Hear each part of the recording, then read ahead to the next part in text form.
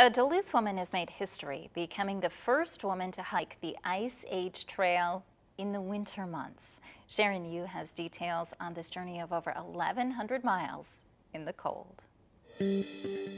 There's something you should know about Duluthian Emily Ford. I've always loved the dirt. I've always loved being like in the earth. So it was only natural for her to pack up her things to spend her winter doing something outdoorsy. She looked east, her heart set on Wisconsin. I just finished the Ice Age Trail, which runs east to west-ish, right, in Wisconsin, but like takes a long detour south for a little bit and comes back up. Back at the end of December, Ford said a temporary goodbye to her pup and borrowed a companion hiking dog named Diggins, knowing this trip was going to be long. The whole trail is 1,200 miles, and my total was like 1,100 and some odd miles. I started it on December 28th, 2020, and finished on March 6th, 2021. The official 1,136 mile hike, making her the first woman to complete the trail during winter. It's not like you set out to make history, but you did. Yeah. Un unbeknownst to myself. I still don't think I really understand what that means. You know, a lot of people have been asking, like, what does it feel like to be the first? And I'm like, well, I don't know. I guess, like, because I, I like trying to akin it to, like, like what's something that you really like, like you just like to do? Now we're hiking to the other end. And that's kind of what this trip was. It was just a little passion project for the winter. A passion project during which she found many things. I think that's really good for us to kind of come back to our own core beliefs without being influenced by the outside world and kind of having that quiet time with ourselves because it's really rare these days to get that quiet time with ourselves unless you're really good at setting aside that time for yourself, which I am not. Along the way, during the coldest of nights, she found humanity by way of generosity from strangers. They would leave me stuff like at the trailheads if they wouldn't meet me. So like we would stumble upon bags of goodies and food and water on those really cold nights. Um, some people let us stay in their house. That is that's so cool. I think the biggest gift was them like sharing the slices of their life with oh, you. Oh yes, it's just so good to like have those short-term connections. Because sometimes those are the ones that we remember the most and like the longest and make the most impact. And in terms of making an impact, her thesis is encouragement. When I left, I was like, cool, like I want this to be a way, if anybody chooses to follow this story, for people to know like, this is a black person getting outside. Like it's, especially up here, it's very rare. Once a backpacker, always a backpacker. More than a thousand miles behind her this year. For next winter, the skies are kind of the limit, you know? Who's to say?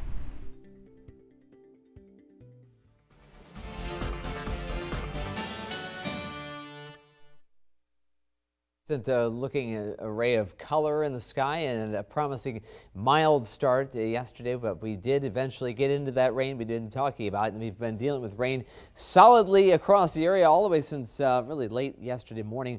Uh, here in Rochester it was shortly afternoon, but the, again, the day started with that uh, nice little dose of sunshine. So peaks of sunshine and a mild, we were in the mid 50s yesterday, mild start to our uh, Tuesday. Colleen Heft sent us this picture from just north of Rochester, the bright orb in the sky uh, peeking through the clouds, and then the rain took over. And it's been with us. A little more than half an inch has fallen uh, so far uh, here in Rochester. Uh, most of the area, kind of the same situation. Very light rain still pivoting around this area of low pressure. The center of that system now approaching the Minnesota-Iowa border. Uh, you see the showers rotating around that center of that storm system just south of Charles City right now. That's going to move into central and then northern Wisconsin through the course of the midday and afternoon hours. Right now, so far since midnight, just about a third of an inch of rain has fallen here in Rochester. That gives us a two-day total of yesterday and today combined. 55 hundredths of an inch of rain, so a little more than half an inch.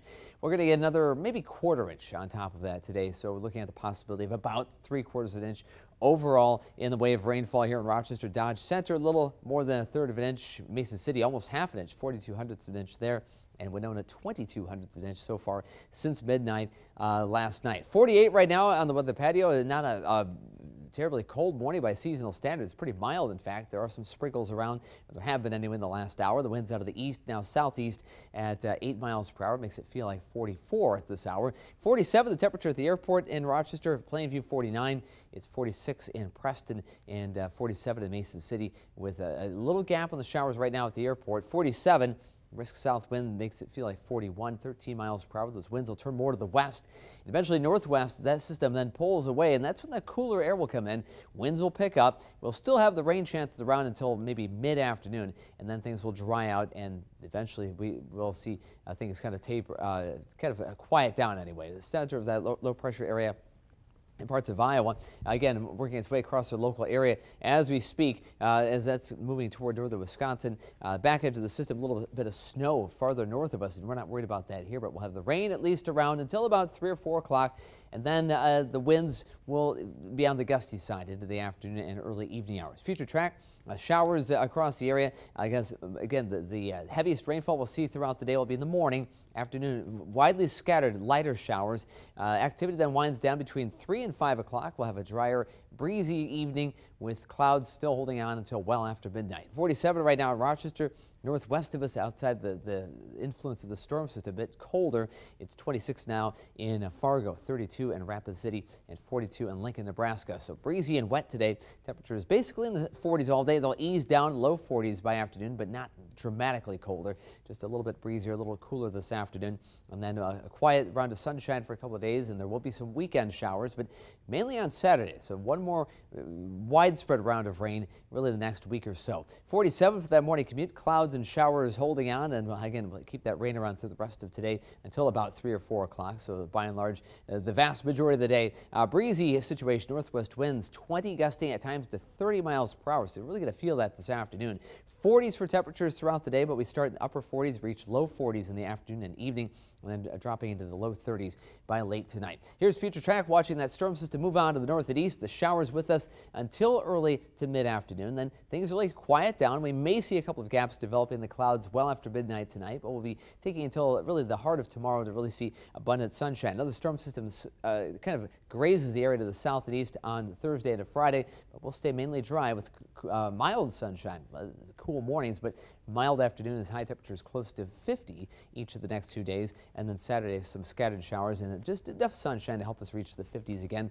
And it gets even warmer from there into early next week. 45 would be typical this time of the year.